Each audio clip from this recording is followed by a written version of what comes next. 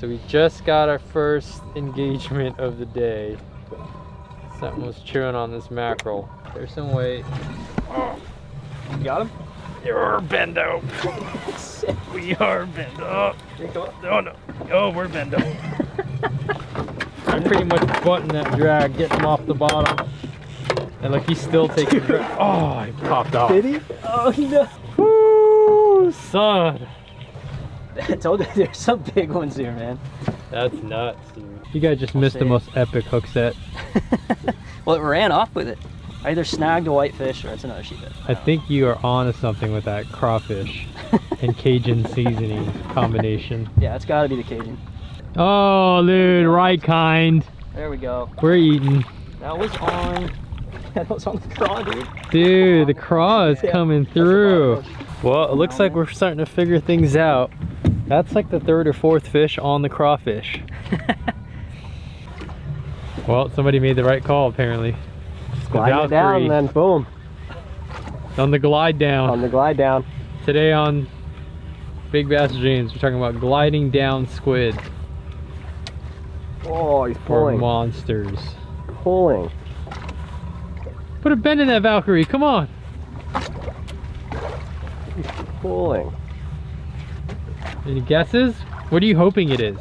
I'm hoping it is a red snapper, but it is a sheep's head. What? And Target it's a keeper. Look at that. Dude, nice. That's a nice little. Oh, Ooh, oh, tried to bite your- me. Yeah. that is a nice one. Dude, look at that. Very cool, dude. Try to get a proper grip on right that thing. in the freaking schnoz. Sucker for the gliding squid. BKK right to the lip. Awesome. How much fun was that? That was a lot of fun. Felt little taps, little taps, little taps, and then, like he said, something big came in. Just goo goo goo goo. What's the update, Parker? Well, I hooked something big, but I'm on a little tiny hook. And uh, so I've just loosened up my drag a bit, so if he pulls hard, it won't break the hook or pull it out of his mouth. So I'm just gonna kind of fight him like a trout. See how that goes for me. Fight him like a trout. That's the most bend I've seen put into that Valkyrie today. Yeah. Arm's getting tired. right arm or left arm? Let me know once you get Right. Oh, it's a sheepy. Oh, Oh, no. And the black rifle is in the water. Look Got at that. Oh, that's, oh gosh. Oh, look at all those burps. Dude. That's a nice one. Hey, There we go. With the black right. that's a triple. triple shot. Right there, boys. Triple shot espresso. That's a good one, bud. On the little strip, strip of squid, huh? Of course. tiny strip squid. I've got cornhole twice now with a big mackerel with the heavy gear and a big old hook, and this guy drops a little whitefish hook That's a good one. with the strip and catches a, a good one. But that's just how fishing works. Woo, How fun was That that? was super fun. He fought, fought pretty hard. All the way up, too. I don't give up. Thanks, buddy. That's rad. That was He's rad. good. All knockhead. Yeah, he's starting to make take shape. Yeah. What's up guys? Welcome back to the channel. Oliver Ngy here. Got a pretty unique fish I want to share with you guys. You guys may have seen a video I shot with a really big sheephead uh, a few years ago fishing with Eric Johnson, but just got home to sunny Southern California and got out with my man Adam Baker and Parker Wright and we went targeting really, really big California sheephead. Now we just got off the road. Now when you talk about sheephead, that means totally different fish depending on your region. In the Northeast, it's a freshwater drum. In the Gulf States and the southeast portion of the country, it's a whole different human tooth bearing looking weird fish. But here in Southern California, we're talking about the California sheephead. And this is a very unique fish. What's unique about these fish is that they're transgender fish. The entire population starts off as females, as you've seen here. And generally there's only one big dominant male on a piece of cover or within a territory. So those males will go through a transformation. They'll go from a female and start developing this big old nod head and get these big black vertical bars on the head and the tail portion. And every other California sheephead in that vicinity will stay in a female role, uh, even up to uh, this probably four or five pound class fish without its head. Uh, it's a very fascinating fish, but what I love about these fish is that number one, they bite hard and they fight hard. Uh, you're gonna see in this catch and cook segment me getting my ass kicked by a really big sheephead and actually broke my line 40 plus pound leader gone like that. So next time I go around we're probably gonna put on some 60 or 80 pound just to be sure but we did catch some beautiful eating size fish. We like keeping these sub five pound class females for the table we've been releasing the big males to continue dominating those wrecks and offshore structures and hard bottom spots here on the California coast. These fish are also one of my favorite fish to eat and that's because they feed heavily on mollusks and crustaceans. Uh, sea urchins, mussels, clams, crabs, shrimp, baby lobsters, so they take on a whole different consistency, texture, color, and flavor to their flesh. And today I'm gonna finally get to prepare one in one of my favorite ways. And you guys have seen me do this with black crappie on this channel before.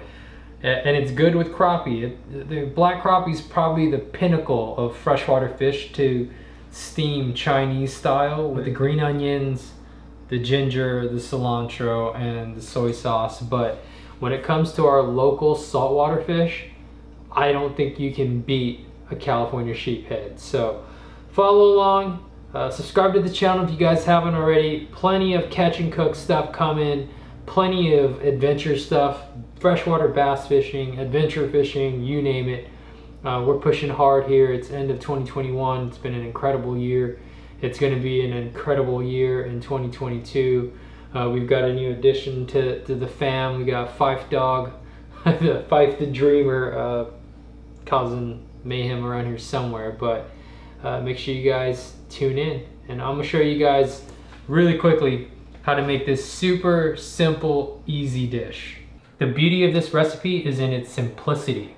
We're gonna be using a traditional oven to steam these fish because I don't have this complicated giant wok and other apparatus. So I'm gonna show you guys some of my cheat code stuff. We're gonna use a casserole dish, uh, some aluminum foil, a little bit of water, and we're gonna steam these fish in the standard oven but the first thing you want to do, and depending on how big these sheephead are, is you want to either leave the head on a smaller model like this, this is like a 13 inch fish, and cut the head off of the larger units so they fit inside your casserole dish. And all we did was we gill and gutted each one of these, took out the organs, took out the gills, left the head on these, and I do like keeping the skin on these fish. And I've got one of these super cool scalers here from the Sage Company. And I use this thing all over the country. These sheephead are pretty robust fish. So they'll bust up a spoon. And I don't have the patience or the skill to remove these scales with a fillet knife. So we've got our sheephead gill gutted, scaled, what I'm gonna do to help facilitate some even cooking is give this bigger fish a couple of diagonal slices down to the spine. Next step is to simply lay our fish here in the casserole dish. Normally these fish are cooked and steamed in a big wok, but since we're improvising, because I don't own a wok, some of you guys probably don't either, I wanna get my water inside the casserole dish and I just got this little sauce cup here. And I'm gonna place that inside the dish as my source of water to create the steam. We're just gonna take some aluminum foil. Get, get, get just enough to make sure we can make a tight seal around the edges. These casserole dishes are nice because you can wrap them very tight around those handles. We're just gonna pop this in the oven.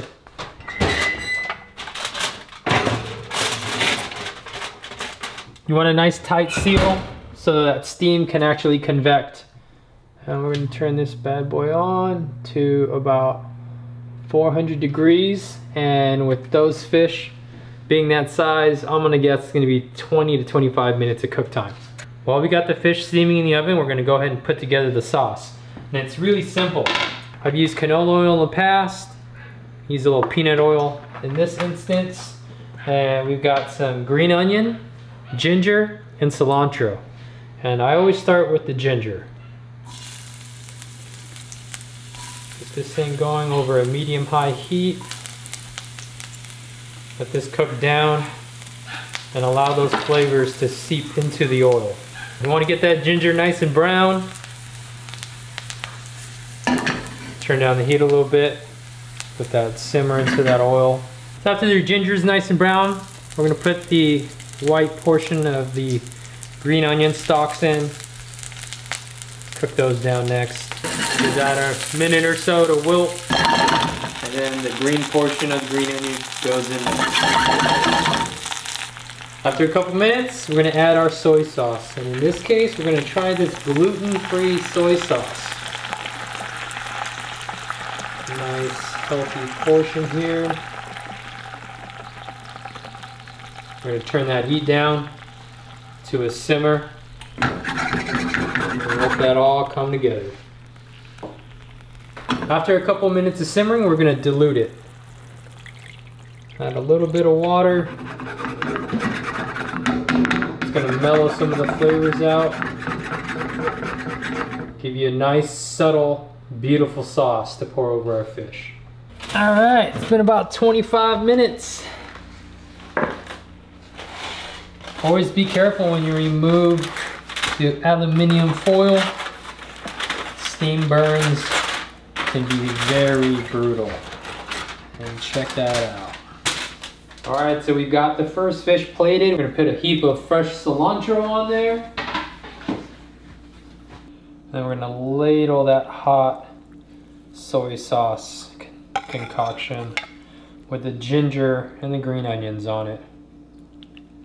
And voila. Bam. There we have it, guys. Classic dish here. Steamed California sheephead. So simple to make. They're so much fun to fish for. This is absolutely delicious. This is the first time in a long time I've actually had sheephead prepared this way. So let's give it the final taste test. You can tell it's done when it just comes right off the bone like that serve it over a bed of white rice is traditional. You can do brown rice, quinoa, I guess, if you're into that kind of deal. But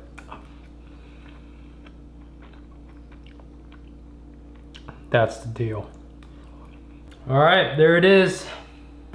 One of my favorite dishes for California sheephead. If you guys enjoyed this episode, subscribe to the channel, leave a comment below. Are you guys fans of the sheephead with the head or without the head? Are you guys eating the cheek meat off of these things? I don't remember last time I ever tried that, actually. Hmm. All right. How about that eyeball? And just kidding, I'm not that Asian. Catch you guys in the next one. Oliver Ngy appreciate you guys tuning in.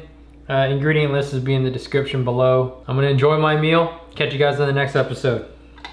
You a keyboard pirate, my man, that's hella My track is instrument, you catch fish, get him in the net quick, cast That real deal, raw uncut, still chasing PBs, cause it's never enough. My track is instrument, you catch fish, get him in the net quick, cash for another step. That real deal, raw uncut, still chasing PBs, cause it's never enough. Medium light, graphite for the subtlest bites. Some bright blue skies, not a cloud in sight. It's dynamite when I drop, and the school ignites, pinning them down on the